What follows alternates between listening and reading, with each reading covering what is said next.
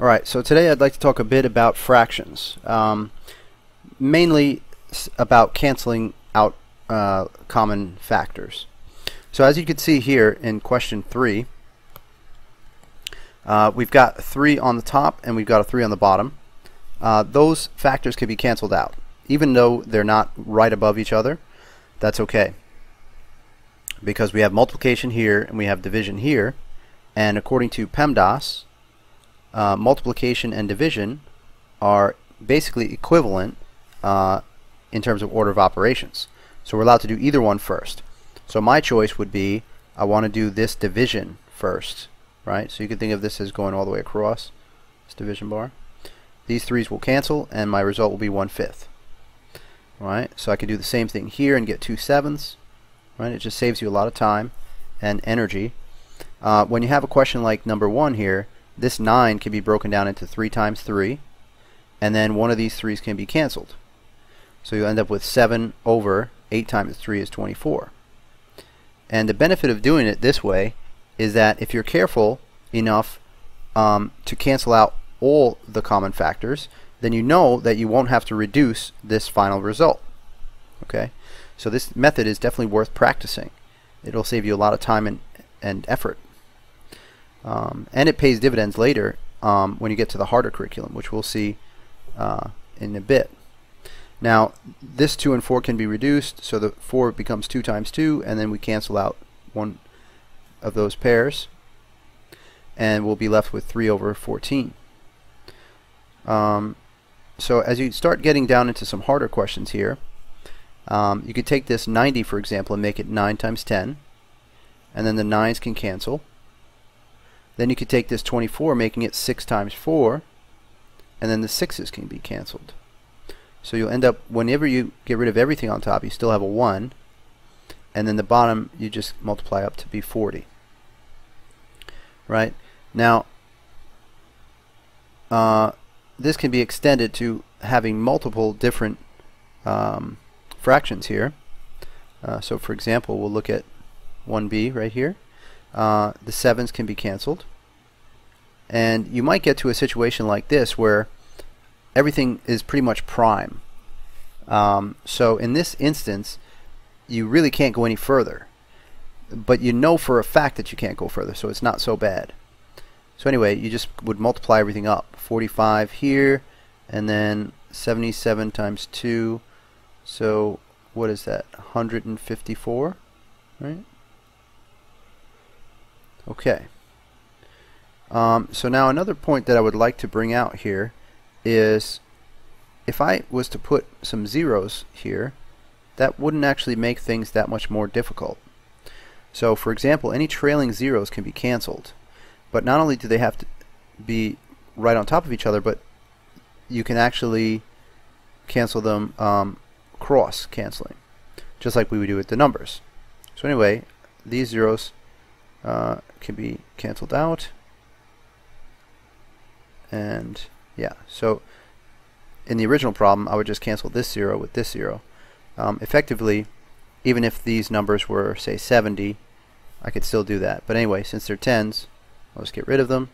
And then this 9 is 3 times 3 and then I can get rid of one of these 3's so the top would be 15 the bottom would be 28 and you'll notice that your multiplication skills will come in handy here uh, both in the forwards and reverse directions so let's see what else we have here. Um, maybe some ones that are a little bit bigger numbers. Well, let's see. Maybe on this page. Um, not too bad. So here we're getting letters coming into the picture.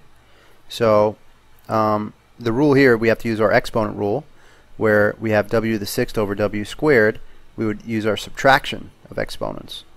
So we'd end up with w to the fourth power and 25 we can break into 5 times 5 20 we break into 5 times 4 the 5's can be cancelled and we'll end up with 5w to the fourth over 4 okay? Um, same thing here. 18 becomes 6 times 3 24 is 6 times 4 the x's we can subtract 4 from 2 and get 2 the y's can cancel out fully these 6's cancel out. You end up with 3x squared over 4. Okay? So I think you guys start getting the picture here as to what happens. Now, sometimes you might end up with a negative result. So here you have a 2 and a 6. This 6 can be brought down to a 2 times 3. The 2's can cancel. So you end up with a 3 on the bottom. Now here when you start doing your subtractions, you end up with 1 minus 2, which makes negative 1. Uh, but what that really represents is it represents the x being on the wrong side of the fraction. So you can write that on the other side of the fraction with a positive exponent of the same magnitude. Okay. Um, same thing with the y's. Uh, if you notice, you'll get negative 2 if you do the subtraction the correct way. But if you do it sort of the wrong way, you'll get a 2 on the bottom. Okay. That is 3 minus 1. And then again, the w's you can do the wrong way. You can do 3 minus 2 and you get 1, but it has to be on the bottom. And since there's nothing on the top, we just write a 1. Okay. So you get the idea with that. That moves us into the next uh, piece of the puzzle, which has to do with factoring. So we'll we'll interleave a uh, a review of our factoring methods. So the first factoring method is known as GCF.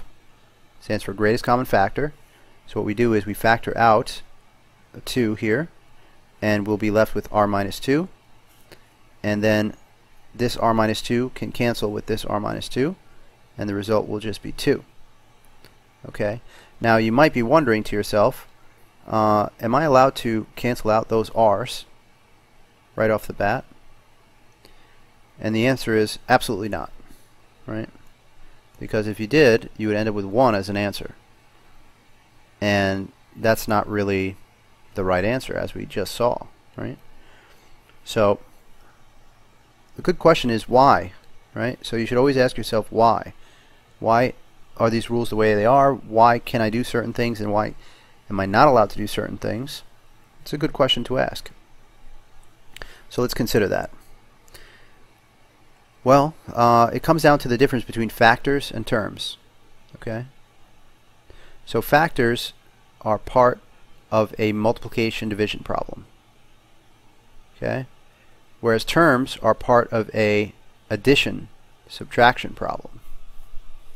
Okay. So for example, this 2 okay is a factor okay but it's also part of a term you see, this whole thing collectively, the 2r, is a term.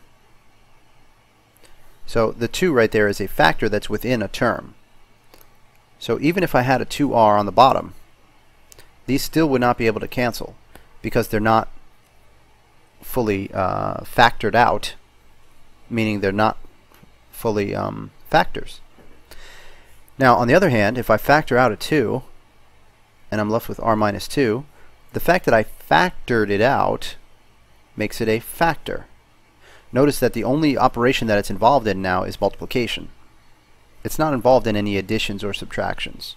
Whereas this 2r was involved with a subtraction of the 4, making it a term. Alright, so that's why terms can only cancel out if I have the additive inverse. Okay, which is a fancy word for the negative version. Okay. That's the way that terms cancel out. Factors, on the other hand, cancel out in a completely different way. So factors cancel out when you have one on top and one on bottom. Okay. So that answers the age-old question of when am I allowed to cancel things out.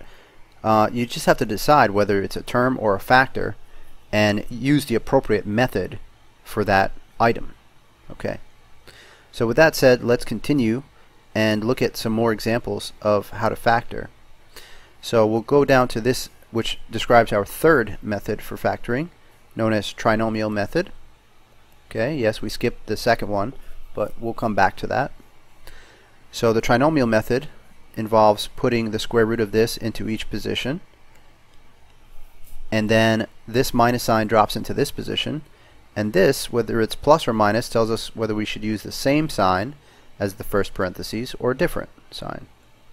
So in this case I should use the same sign that I already have. Now from here uh, I just want to put a 5 and a 5. The reason is I need a number that multiplies up to 25 and combines to 10. So I'm looking for two numbers that multiply up to 25 and combine to 10. So if I have trouble finding them, I can do the following. I can think of all the numbers that multiply up to 25. And in this case, it's a pretty short list. And I look for the ones that combine up to the number of interest, and that pair is the one that does it. So anyway, um, you'll see the basics there of trinomial. And let's look at another example here. Oh, well, we didn't finish the question. The, to finish the question, of course, we would cancel out these, and we'd be left with a 1 on top and a v minus 5 on the bottom. Right? Uh, now, this example here, of course, we cannot cancel these sixes for the reasons we just discussed.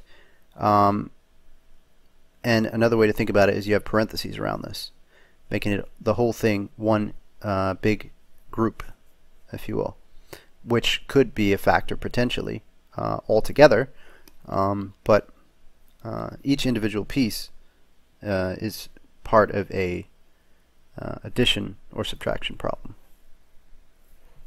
making it a term. And terms can only be canceled uh, via the additive inverse. Okay. So now let's break this uh, denominator down into its parts. So uh, we'll get a plus sign here, and this is a negative this time, so that means that the sign is different from the first one. The first one was plus, this one must be minus. Now I need to look at factors of 6, so I start with 1 and 6, 2 and 3, and I need them to combine to 5. Notice that both of these combine to 5, depending on if I ad uh, do addition or subtraction. Right? If I do addition, uh, the 2 and 3 makes 5. If I do subtraction, the 6 and 1 could make 5. Now, how do I know which one to take? Well, in this case, I just look at the signs here. Notice that they're different. That means that they're going to subtract. So 6 and 1 are going to do the trick. Okay. Uh, then the nice thing that happens here is we get a cancellation. So we end up with 1 over x minus 1. Remember, when we don't have anything left here, we just put a 1. Alright, now let's see if we could find any examples of our, yep, here we go, our second method of factoring, which is known as dots, difference of two squares. Okay, so that's here on the bottom.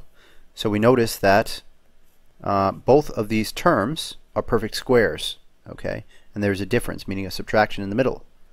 So what we do is we take the square root, which is easy to do when you have a b squared. It's just b and b, right? And when you have 49, you should know that 7 times 7 is 49. And we just put a plus and a minus. Right, now we have to just deal with the top, which is another trinomial. So we have b and b, and the plus sign remains there. Uh, the minus indicates that the sign is different, so we should put a minus here. Now we have to take 28 and factor it down. 1 and 28, 2 and 14, uh, 7 and 4. And th those are the ones that will combine to 3. Okay. So we put a 7 here and a 4 here, and the difference would be 3, so we're in business. Now the b plus 7 will cancel, so we'll end up with b minus 4 over b minus 7. Okay.